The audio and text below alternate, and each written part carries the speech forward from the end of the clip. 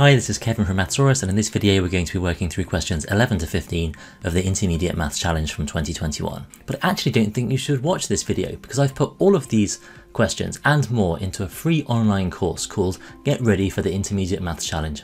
In that course, you can work through all of these problems, you can uh, check the answer, you can watch the video solution, but as well as the video solution, there's also a short video hint before each question that will really help you get into the problem and give you the best chance of solving it for yourself. So I'll put a link to that course in the description below. You can go over there and sign up now, totally free, and there are no ads or distractions like there are on YouTube either. So I do really think that's the best way to prepare for the Intermediate Maths Challenge, but of course if you'd rather watch the uh, solutions here on YouTube, you're also uh, very wel welcome. Do like the video and subscribe to the channel if you haven't already, it really helps me get this content out there. Otherwise, we will uh, get on with the questions now.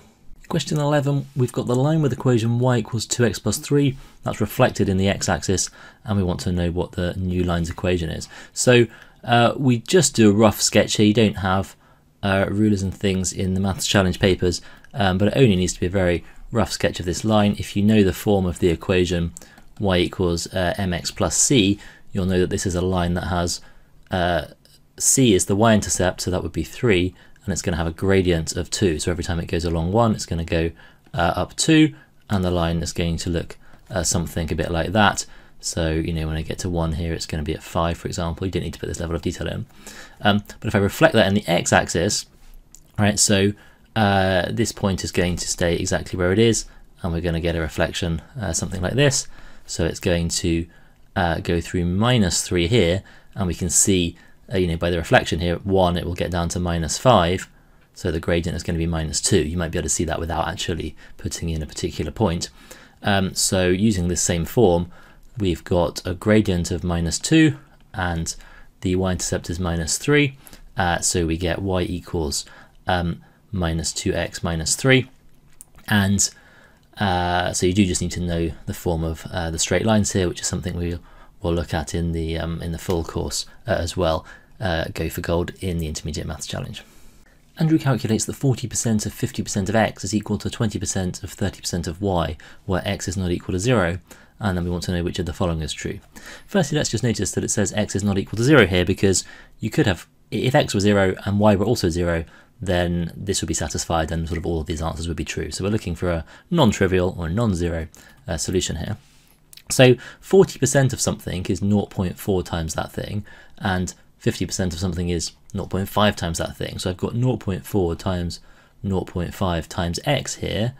Um, that's going to be equal to, well, 20% of 30% of y. That's 0.2 um, times 0.3 times y. There are different ways you could sort out uh, the algebra at the end here. We've got some decimals that are a bit awkward. So one thing we could do is we could you know, multiply the decimals together and then just do some division. You might just, even before you've written this down, like work out 40% to 50% by saying 10% to 50% is 5%, so 40% to 50% will be 20%, You know, 0.4 times 0.5 is 0.2x, say. Um, so you could get to like 0.2x here, and then 0.2 times 0.3 times y is 0.06y. And what I'd do at this step is either um, you know just do y is 0.2 divided by 0.96, um, but actually, uh, so you could work that out, or uh, just to get rid of the decimals, right? So if you've got awkward decimals, just multiply both sides uh, by 100 here, right? If I do 0.2 times 100, I get 20x, and if I do 0.06 times 100, I get 6y. We could have just done that at the start, by the way, you know, if you could times this by 100, it's like timesing 0.4 times 10 and 0.5 times 10, that will give you 4 times 5, which is 20. And the right hand side by 100 is 0.2 times 10 times 0.3 times 10, uh, which is 2 times 3, which is 6. Okay. Um, there's loads of actual simplifications here right, as well. If you notice this was 0.2x, you might just cancel the 0.2 with this side or something. Anyway, I've done it this way. And once we've got to 20x equals 6y, we look at the forms of the answers and we see they're all y equal to something. Uh, so I just need to make y the subject here. So let's put the y on the uh, left hand side, 6y is equal to 20x. Divide both sides by 6 and we get y is equal to 20x over 6 and that simplifies down to 10x over 3 uh, dividing top and bottom by 2 and uh, then the answer there is E. What's the remainder when 1, 2, 3, 4, 5 times 5, 4, 3, 2, 1 is divided by 9? Now what we don't want to do here really is just to multiply these numbers together. Uh, that's going to be quite inefficient, although it would be one way of solving the problem. It might just cost you a bit of time. Uh, and divisibility tricks are things we should always be looking out for, and we cover those a lot more in the Go for Gold uh, courses, both in the previous Junior Maths Challenge one and in the uh, Intermediate Maths Challenge one that you can upgrade to from this course. Um, and one of the divisibility tests is divisibility by 9, uh, which maybe is what we would obviously think of going for here. And that says that if you sum the digits uh, and it's and you get a multiple of 9, then the number is a multiple of 9. But 1 plus 2 plus 3 plus 4 plus 5 is 15, it's not a multiple of 9. So neither of these are multiples of 9.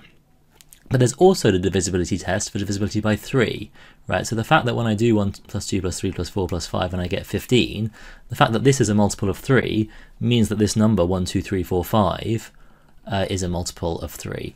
5, 4, 3, 2, 1 has the same digits, so 5, 4, 3, 2, 1. These are both multiples uh, of 3.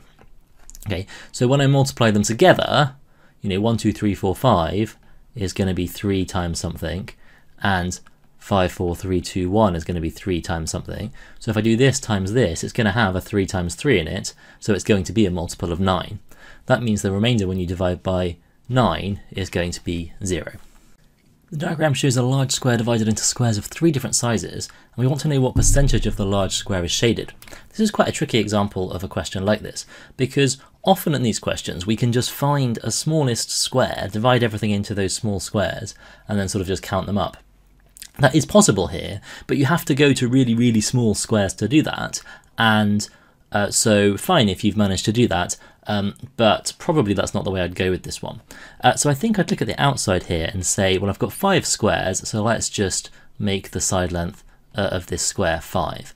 Actually, another good choice here would be just to make it a 10 by 10 square, because that's quite easy to write as a percentage. But we'll go 5 uh, by 5. So each of these squares uh, is just a 1 by 1 square, so I've got here 8 of them, so I've got 8 units that are shaded.